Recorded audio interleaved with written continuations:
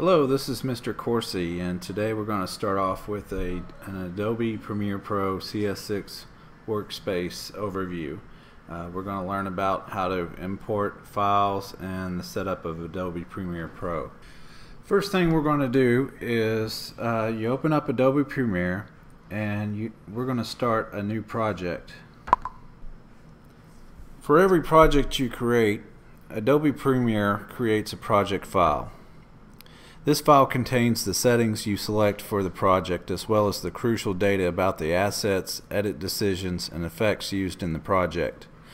Adobe Premiere Pro doesn't store video, audio, or still images files in the project file. It stores only a reference to each of these files based on its file name and location at the time you import it. It's much like a web page, an HTML file the file doesn't contain the images but references and links to them. So it's non-destructible. It doesn't actually harm the video files or change them up. Actually it references them and then makes its own copy in the edit process.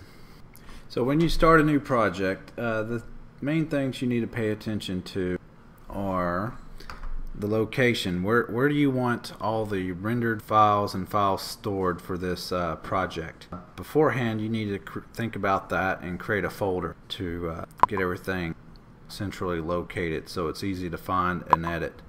Um, I'm storing mine on an external hard drive and I'm making a teaching video so I put it in there and I'm keeping mine in a folder called Premiere click choose and it shows it right there. Now for this lesson we're going to be working um, several videos on a project called pledge. So I'm just going to call this project pledge. Now you might also pay attention to the uh, capture format. The capture format controls how Adobe Premiere Pro transfers video and audio directly from a video deck or a camera the default options are DV and HDV shown here. The other options appear only if you install specialized video capture hardware or software. Another thing is the scratch disk tab. That's where it makes the copy uh, from Adobe Premiere um, in the non-destructive process of referencing the videos that and uh, images you capture. Now, you can change it to same as project which is what I like to do because sometimes I'm working uh, moving the project around on different computers so I store them externally on an external hard drive. So click OK and then the sequence presets pops up. In the uh, sequence presets tab it allows you to create presets that match the project footage that you are inputting and uh, going to be editing. You can go ahead and choose that, but a little trick that I've always done is I just go ahead and press OK. Now, you can even uh, name the sequence if you want. Click OK. The Adobe Premiere Pro workspace now appears. The main window of the Adobe Premiere Pro is the application window. Panels are organized in this window in an arrangement called a workspace. The default workspace contains groups of panels as well as panels that stand alone. Each one of these is a separated panel. Even after opening a new project and selecting project and sequence settings, you can make adjustments to several project preferences. These are located in the Preferences dialog box. My uh, workspace probably looks a little bit different from yours. I've modified it to the, what makes me work more efficiently and more comfortably. It's very similar to the workspace for editing CS 5.5 and if you want to get yours similar to mine you just go window workspace editing CS 5.5 now to start you need to have already created uh, your folder which I already did. Now since I created this project what it did was it created the project file pledge and then some preview file folders. Now in addition before you start the footage that I got was retrieved as external movie files and also on a tapeless uh, HD digital camera. Now, I've already uh, imported the video through Adobe Bridge, which another separate video showing that may be made. Now, in order to get the footage, I have already created folders with audio and a folder called footage. You want to keep your files organized where you're able to find them easy and it's not overcrowded where you can't find anything. So I'm going to go ahead and copy those two and paste them into my work folder. Now, the easiest way you can import into Adobe Premiere is you could just simply drag it. I can drag that whole folder. Now each folder in Adobe Premiere is called a bin. And each bin has the files that are needed.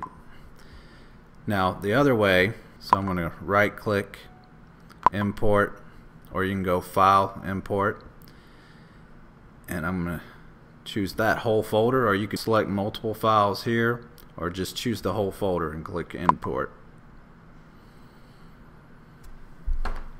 So you have three different ways of doing the same process. Do which one makes you more comfortable that's more efficient for you. The workspace is divided into frames, each of which contains one or more panels. You customize a workspace by arranging panels in the layout to best suit your working style. You can place them wherever you want just by release. You can even save your workspace or re reset it back. They can be resized, rearranged, um, added, and removed however you want. The project panel is the repository for links to project assets, which are video clips, audio files, graphics, still images, and sequences. That's where you're going to see all your files and clips that are referenced in your project file. The new item button allows you to create a new sequence that you can create for uh, nesting and creating new sequence in the timeline. You can also create uh, text titles, uh, scrolling, rolling, or just plain or decorated titles, among other things. You can also click on the new bin button and you create new bins. Uh, you can search and find clips or audio that you're looking for. You got different views just the size and that is buttons at the bottom of the project panel.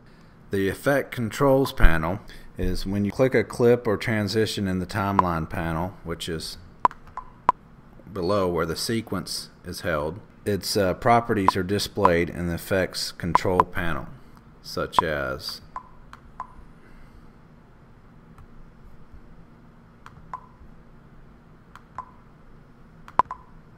You can apply and adjust video and audio effects in this panel. To do most of the editing in the effect controls panel and the timeline panel is done. So effects and timeline. The audio mixer, which is right here, you click on the audio mixer tab to the right of the effect controls tab to display the audio mixer. This interface looks a lot like Audio Production Studio hardware with volume sliders and panning knobs. One set of controls for each audio track in the timeline plus the master track. Let's talk about monitors. Use the source monitor to view and trim your original footage. You can double click on any clip in the project panel to view what's in the source monitor. The program monitor to the right opens the clip in the source monitor. The program monitor shows video that has been placed in the timeline below in the source monitor. So it plays what's in the timeline over here. Use the program monitor to view your project in progress and to perform some video effect and sequence editing. Not to be confused with the uh, effect controls panel, the effects panel is the repository of video and audio effects as well as transitions for video and audio and effect presets organized into bins. Let's talk about the timeline panel right here. You do most, most of your editing here. You create sequences in the timeline panel which are edited video segments or entire projects. One strength of sequences is that you can nest them, which is place sequences and other sequences to break up the production into manageable chunks. You can layer composite video clips, images, graphics, and titles in up to 99 tracks. You can have up to 99 audio tracks in a sequence. Each panel has a panel menu in the top right. You can display by clicking on the triangle in the upper right corner of the panel to give you more options. If you ever lose a panel, you just have to go to Window and check to have it show back up or uncheck to make it disappear. Or if you remember the preset workspaces, you can reset and everything will go back as it was. I'm going to talk about the Tools panel which is right over here. Each icon in this small panel represents a tool that performs a specific function, typically a type of edit. One final trick I'm going to show you is how to play a sequence full screen by using cinema mode. And the way you do it in a Mac is pressing Control plus and backtick. The backtick key shares the same space as the tilde on your keyboard, in case you were wondering. What it'll do is you press the space bar and it plays the video. You can press J, K, and L, J to go backwards, K to pause, L to go forward. To get back into the regular screen, you just go Control plus backtick again, and it goes right back to the screen a very helpful uh, way of looking at your video and the best quality to assess if it's right.